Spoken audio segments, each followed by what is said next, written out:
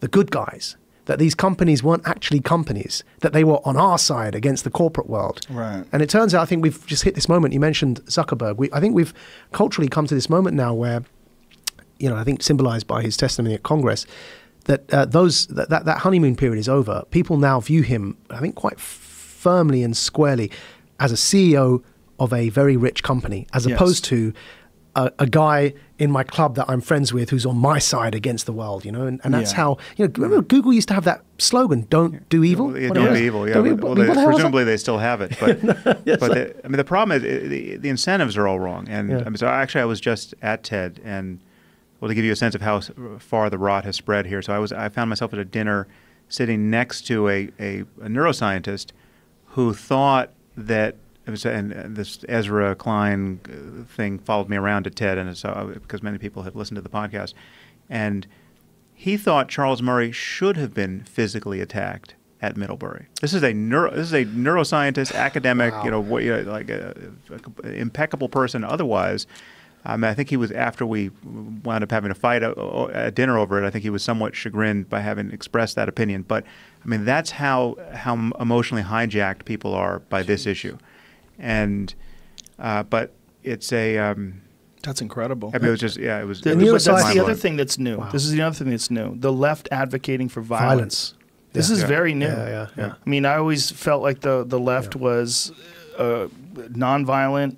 The, the the whole idea behind being progressive, like nonviolence, was was a genuine aspect of that. and free speech was, yeah, was. two things. Two things have been yes, shut those are two yeah. things that have been sort of stopped. Yeah. That this free speech is fine as long as you're not saying speech that I disagree with, and nonviolence, sure, unless we need to use violence. Which is like, and the people that are saying it, like if you you watch these Antifa people, like Jesus Christ, the most incompetent, violent people you've ever seen in your life.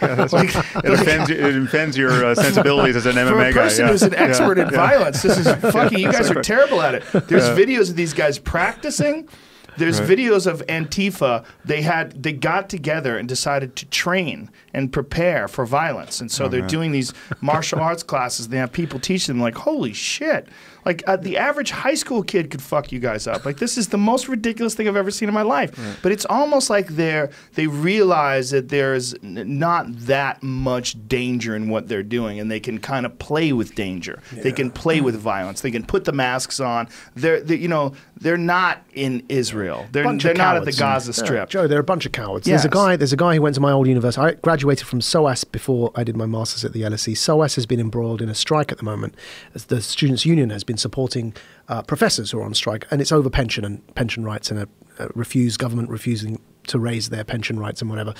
And some of the students came out in strike, far left students defending uh, the professors, and they put a, they put forward a ring preventing students from attending uh, their classes, and and and a a, a female black lecturer wanted to cross the strike lines to go in to teach her students. A white male, uh, public school educated, very, very middle class protester, far left, physically attacked her. He physically attacked a female black professor. So gone is suddenly gone is the white privilege. Gone is the male attacking a female. You know, gone is all of that. In the God is name- nonviolence. All the above. in the name of ideology, he uh, uh, uh, legitimized and allowed himself to uh, attack a black female. By the way, oh, and she was also Muslim. So she went, she went to the press. Well, like, it's hilarious. Christ. I would have She- thought she would have had the right She spell went to to the cast. press. She actually said that in her interview. She said, "I'm a black Muslim female, and this white Oh kid has just attacked God. me for wanting to teach my class." This is crazy. This is cra- this is a crazy world we're in, man. This is